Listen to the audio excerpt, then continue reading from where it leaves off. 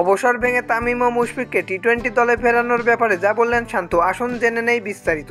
চলতি বছরই রয়েছে টি টোয়েন্টি বিশ্বকাপ। ইতিমধ্যে অংশগ্রহণকারী দলগুলো নিজেদের পরিকল্পনা সাজাতে ব্যস্ত সময় পার করছে। আন্তর্জাতিক টি টোয়েন্টি থেকে অবসর নেওয়া তামিম ও মুশফিক সম্প্রতি সময়ে এই ফরম্যাটে রয়েছেন দারুণ ফর্মে দলের প্রয়োজনে অবসর ভেঙে বিশ্বকাপ দলে তাদের ফেরানো হবে কিনা সেই প্রশ্নেরই উত্তর দিয়েছেন অধিনায়ক নাজমুল হোসেন শান্ত।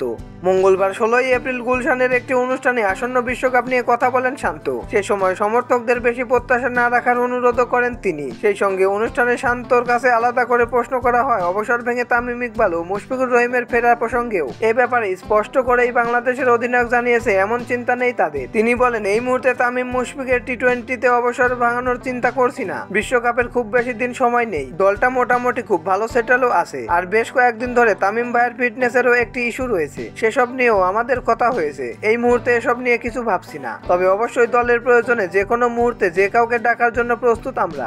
সমর্থকদের প্রতি অনুরোধ করে জাতীয় দলের অধিনায়ক বলেন, প্রতি বছরই দেখি বিশ্বকাপের আগে এটা নিয়ে অনেক কথা হয়। প্রত্যাশা থাকে এটা করব, সেটা করব। আমার একটা অনুরোধ থাকবে আপনাদের কাছে। এই প্রত্যাশা খুব একটা করার দরকার নেই। এই প্রত্যাশা সবার মনের মধ্যেই থাক। আপনারা জানেন বাংলাদেশ দল কি চায়। আমরা খেলোয়াড়রাও জানি বাংলাদেশকে কত দূর নিয়ে যেতে হবে। তো দর্শক বন্ধুরা খেলাধুলা সকল আপডেট সবার আগে পেতে চ্যানেলটি সাবস্ক্রাইব করে পাশে থাকুন। ধন্যবাদ।